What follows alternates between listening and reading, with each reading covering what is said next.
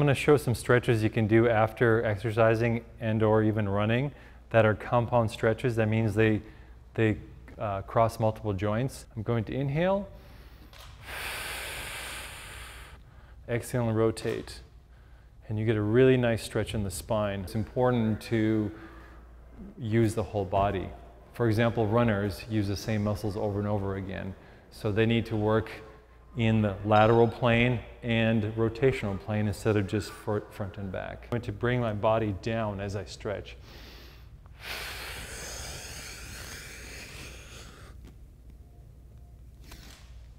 And then another progression is to bring the leg out here. I'm going to feel it from here all the way down the back side, coming around through here like a sling. Remember we talked about the sling? So it's here.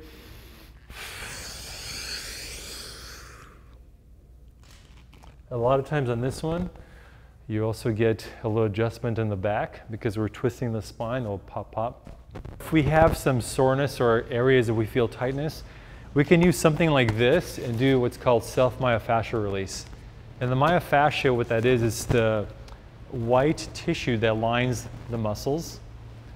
Um, that can get very bound up from overuse or underuse from sitting and go from the knee and towards the hip.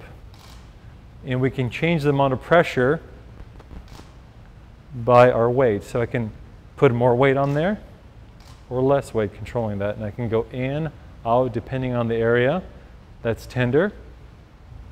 And we want to breathe through that.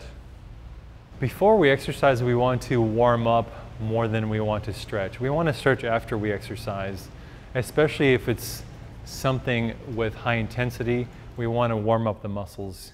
So we want to get the heart rate up through the movements that we're going to do the exercise. If we're going to be running, we want to mimic running or exaggerated running.